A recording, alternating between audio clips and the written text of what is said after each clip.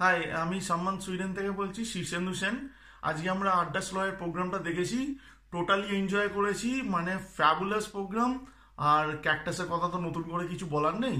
সিধুদা, পটাদাকে অনেক অনেক ধন্যবাদ আমাদের ছোটবেলার ভালোবাসার গানগুলো শোনানোর জন্য। আশা করি আড্ডা স্ল এরকম প্রোগ্রাম আবার নিয়ে আসবে।